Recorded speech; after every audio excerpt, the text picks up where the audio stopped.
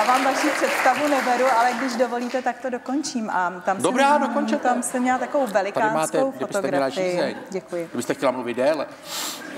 Tam jsem měla takovou velikánskou fotografii a eh, vždycky bylo pro mě docela velkým zadostiučiněním, že jsem ji nenechala vyretušovat, když jsem stála vedle té fotografie. A ti lidé, jak, jak jsou zvyklí, tak jak vy říkáte, že na billboardu krásně a potom vidí, přijde, jak vy jste říkal, stará No. taška. Tak když jsem stála vedle té fotografie, tak mi říkali, no jo, ale vy vypadáte stejně. Tak to bylo fajn. No dobře, tak jednak se tomu dá pomoct tím billboardem, že se nefalšuje. No, ano. A taky tím, že si člověk dělá údržbu, že? No to jednoznačně. A vy tady máte tady v tomhle divadle údržbu úplně fantastickou. No já si nedělám. Tohle Origoš. Já jsem to myslela jako službu. S tímhle jsem se narodil, tam není jediný šití. Mohla byste to říct také? Ano. Mohla bych to říct a musím říci, že mě v tomto ohledu mm, urážejí takové některé ty poznámky jako Bobo Botox a tak, protože já opravdu žádný Botox a nic ne, a podobného. počkejte, já bych si nikdy nedovolil dámě vytýkat to, že chce vypadat lépe. Ale já jsem taky neříkala, že vy něco takového říkáte. Jako No. Ne, jste to se bych si ptal nedal, proto jsem pro Botox. Jo, tak proto Mně to je říkám jedno. žádné šití, žádný Botox, nic Je takového. hrozný, když pak se sní u večeře a praskne čelo třeba nebo něco. To jsem ještě neviděla, vy jste něco takového zažil. Zažil. Musíte vytřít botox a jde se domů. No. Ale tak to samozřejmě jsou rizika, když to přešponujou, že jo, tak ono to prdne. No. A o, teď tady máme poslední otázku. Jste věřící, jaký je váš názor na církevní restituce, které máme tuto noc právě za sebou, více méně?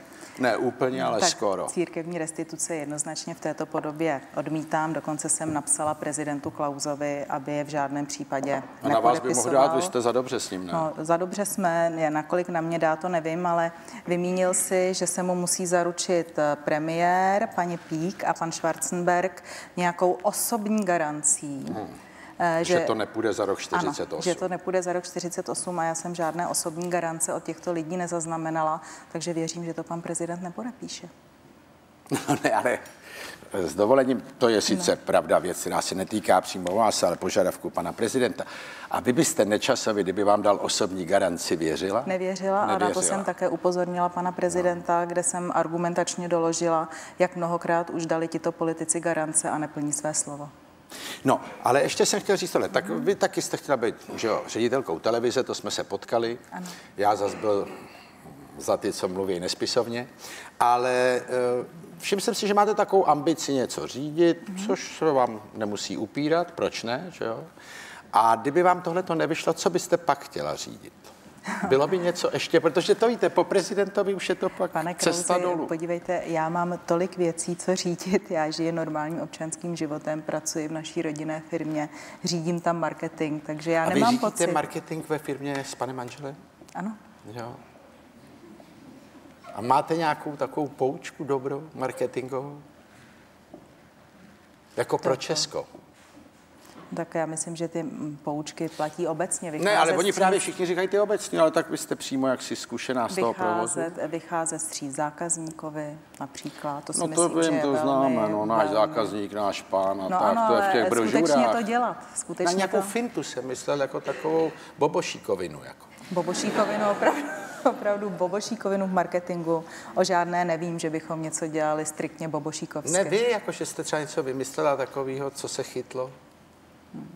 Ne, ne, nevím, že bych vymyslela něco specifického, spíš se snaží, snažím aplikovat to, co se dělá běžně. Ještě nezažili. Situace B je ten tanec. Ano.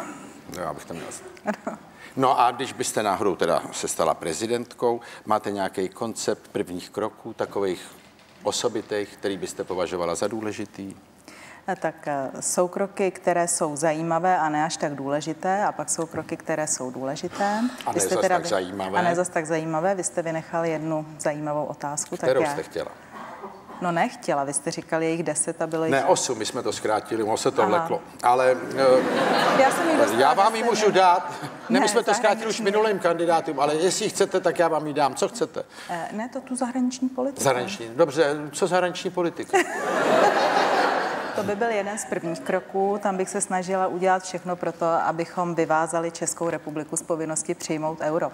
No a pak jsou tam eh, takové ty menší krůčky a to je například, že bych všude na hradě slovo prezident zaměnila slovem prezidentka. Ano, to jsou menší krůčky, ale jich asi hodně. No, asi protože to tam je všude. By to byl step. Ale tak to by bylo to, no tak to by asi bylo automaticky, když by tam byla prezidentka. Mm-hmm. Že jo? No a e, vyvázat z povinnosti přijmout euro? Ano. Jo, jako, že bychom nebyli, my jsme teď vázaní? Ano, my jsme teď vázáni že? smlouvou, že euro musíme přijmout. Je jedno, jestli za pět, deset nebo za kolik let, ale musíme. Není a jste si jistá, že to nikdy nebude výhodný přijmout euro? E, to si nejsem jistá, ale vím, že teď je to krajně nevýhodné a ještě řadu let to bohužel velmi nevýhodné hmm. bude a bude se po nás chtít, abychom ten Mejdan, který rozehráli zejména v Jižní Evropě některé státy, abychom ho zaplatili a to já nechci. No, ale my máme ještě pár let čas, že jo? Jako pokud jde o euro. No, e, možná ano, možná Jako o přijetí ne. eura my ho můžeme přihlásit za Možná let, ano, možná ne, ale když se podíváte na současnou Evropskou unii, tak tam se v podstatě kritéria mění velmi rychle. Takže je otázka, jak dlouho vydrží ta současná kritéria a jestli nebude tlak na naší zemi, aby naše zdravé banky, které pořád ještě jsou zdravé, zaplatili dluhy někoho jiného. Ano, ale oni nejsou naše to je taková nevýhoda. Jsou zřízeny, zatím jsou zřizovány a když ty pobočky ty zahraniční matky zákonů. označí za pobočky, tak ty peníze odvedou zítra ráno.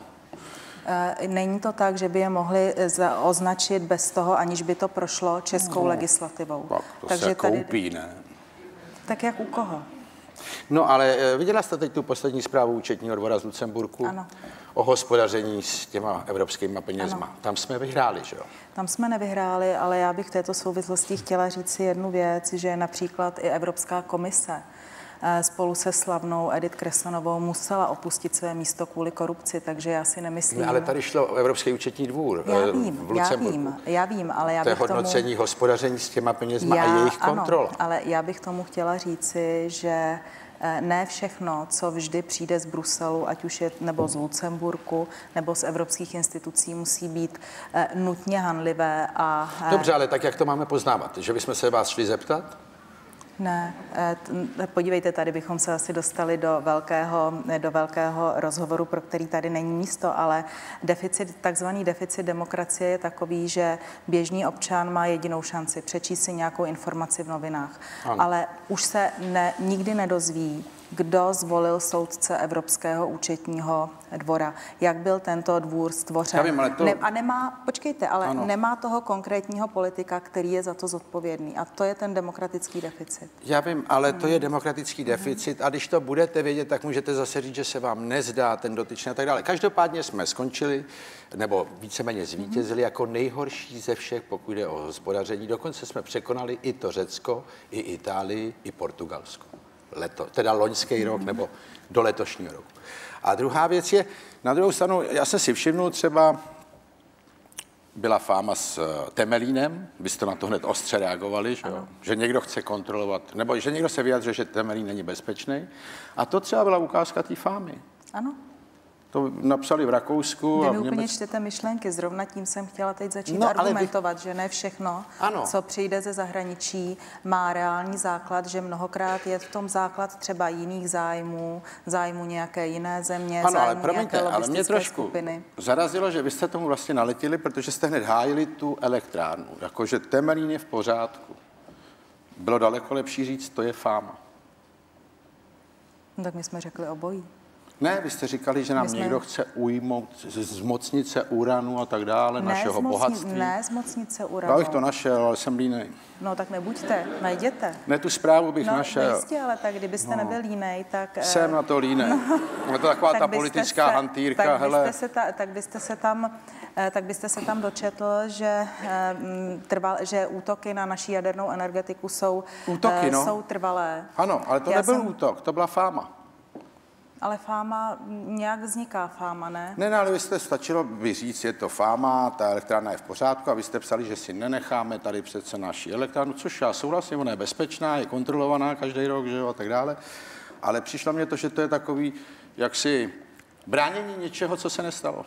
Nebo obrana před něčím, co nevzniklo. Já, víte, já ze své zkušenosti z Evropského parlamentu vím, že těmto věcem by se mělo opravdu čelit eh, hodně od začátku, protože když se to neudělá, tak pak tady stojíme a díváme se jenom na to, jak například nesmíme používat název pomazánkové, eh, pomazánkové máslo, což no to... vzniklo jenom díky tomu, že se včas nereagovalo na to, co se udělat mohlo.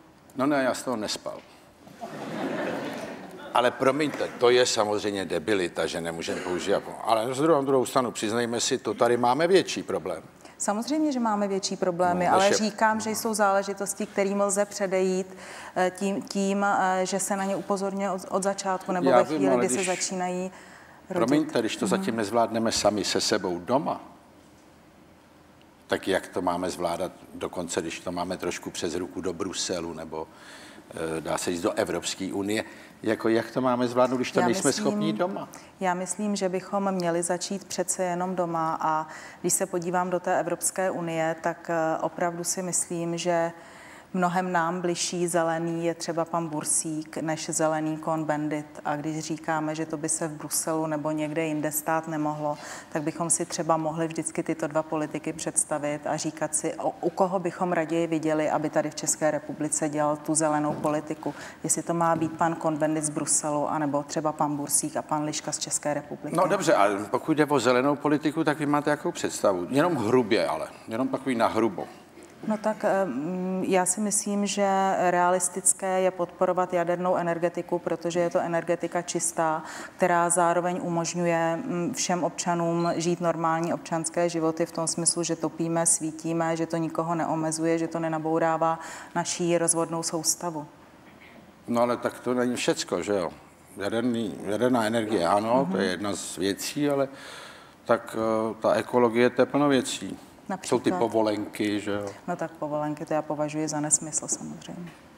No, pak eh, je teda řešení těch problémů znečišťování ovzduší Ostravsko, Sokolovsko.